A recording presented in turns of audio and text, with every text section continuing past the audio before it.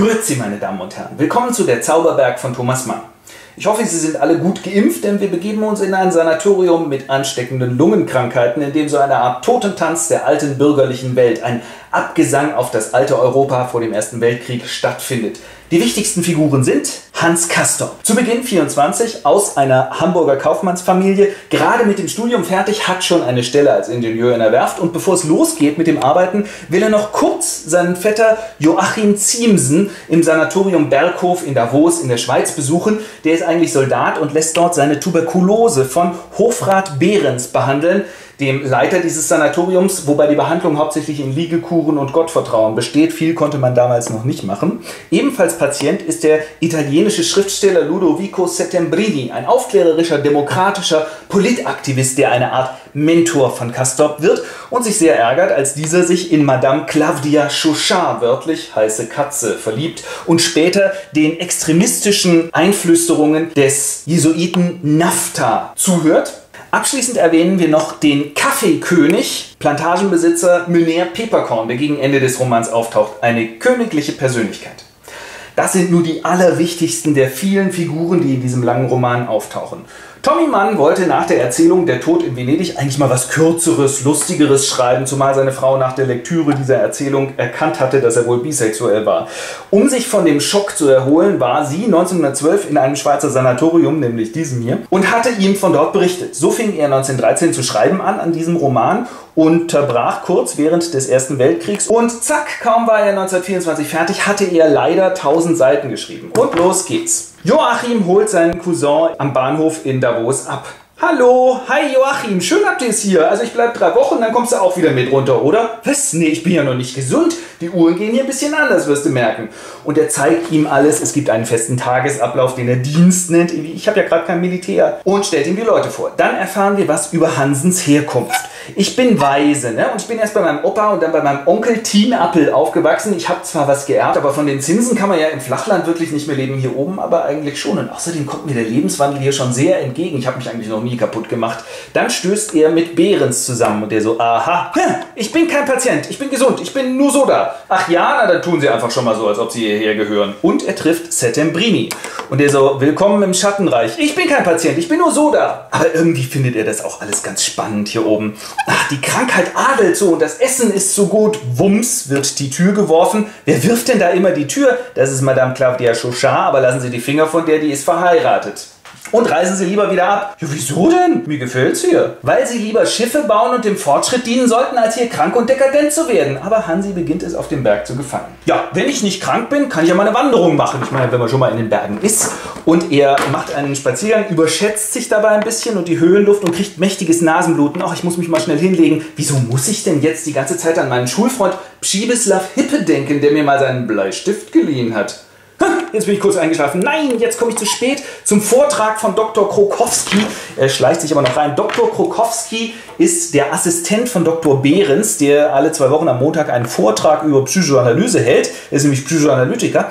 Und er schleicht sich also rein, Blut überströmt, wie er ist, äh, von seinem Nasenbluten. Die Claudia sitzt vor ihm, dreht sich mal um und er so, die sieht ja aus wie der Pschibislav, deswegen musste ich wahrscheinlich an den denken. Und der so, so, meine Damen und Herren, Liebe ist Krankheit und Krankheit Liebe, verwandelte Liebe. Deshalb sollten Sie alle mal bei mir eine Psychoanalyse machen. Dann sind die drei Wochen um und er sollte eigentlich abreisen. Boah, ich bin echt ein bisschen erkältet, ne?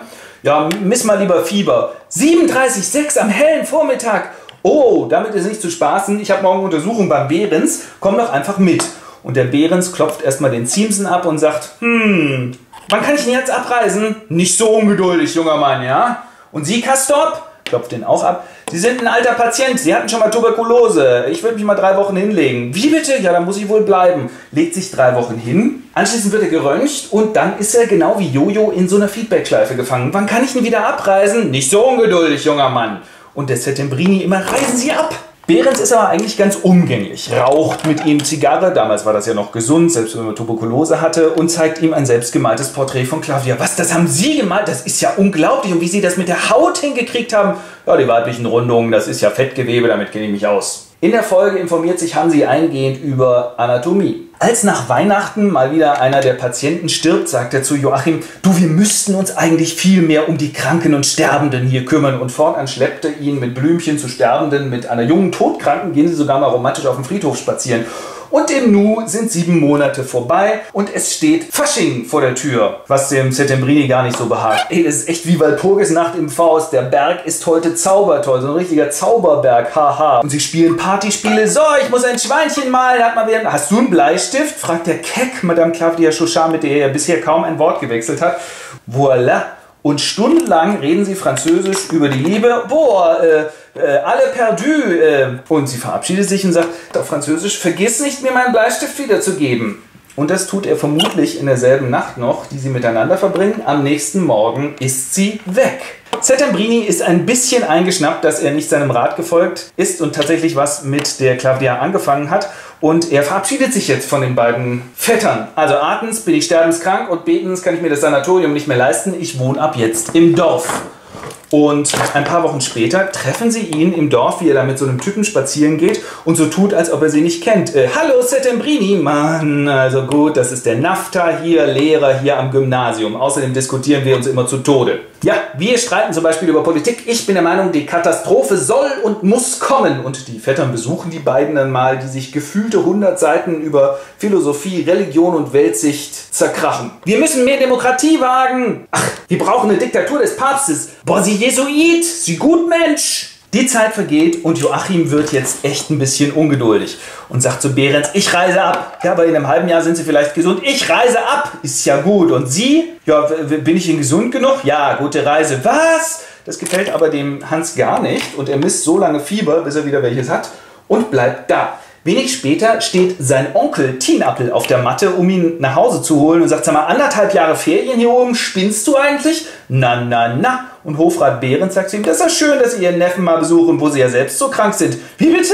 Und puff, ist er wieder weg. Nicht, dass er hängen bleibt. Hans bleibt aber.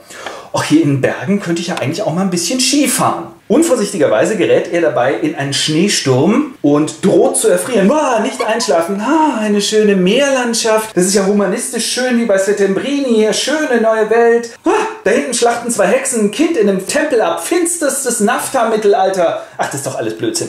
Der Mensch soll um der Güte und Liebe willen dem Tode keine Herrschaft einräumen über seine Gedanken.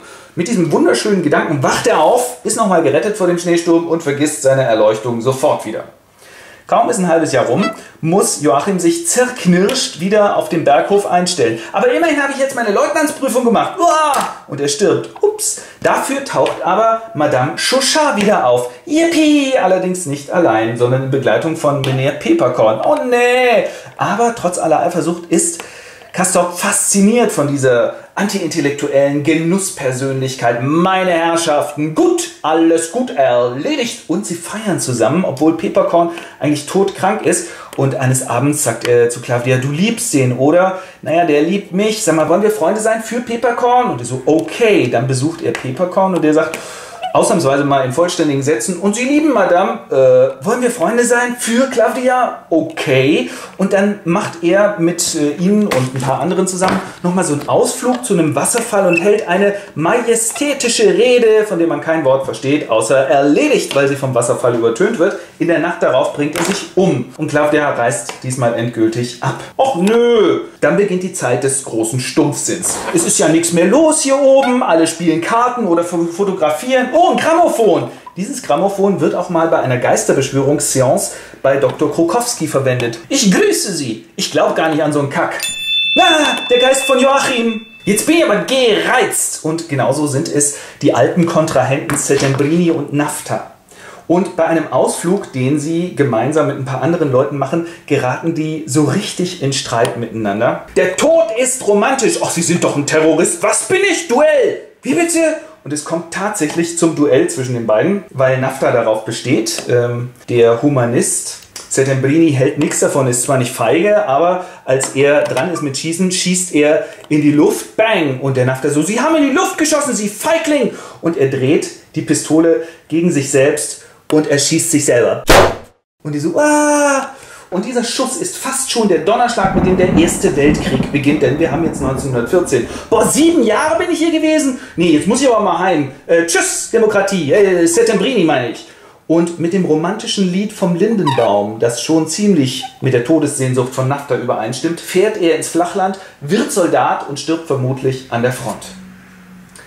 Der Zauberberg wird als Anti-Bildungsroman bezeichnet. Zu Recht, denn obwohl der Castorp als naiver Jüngling sowie Parzival auf den Berg kommt, kann der von dem großartigen Humanisten Settembrini nichts lernen, denn genau wie das liberale Europa ist der selber schon den Tod geweint und die Stunde der Extremisten wie Nafta schlägt. Es ist erschreckend, wie sehr wir auch 100 Jahre später Demokratie und Freiheit gegen die heutigen Terroristen und Demokratiefeinde verteidigen müssen. Und ich hoffe sehr, dass uns der mühsam errungene Frieden, Toleranz und Freiheit nicht nochmal in Nationalismus, Fremdenfeindlichkeit und Hass abgleiten. Und das, liebe Gemeinde, war der Zauberberg von Thomas Mann. Vielen Dank.